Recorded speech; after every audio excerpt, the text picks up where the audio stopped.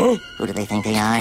I've given the best years of my life to this place, and they think they can just fire me like that? Like trash? I don't think so. SpongeBob? Uh, anyway, Is that you? I've been waiting for you, Patrick. SpongeBob, you're scaring me!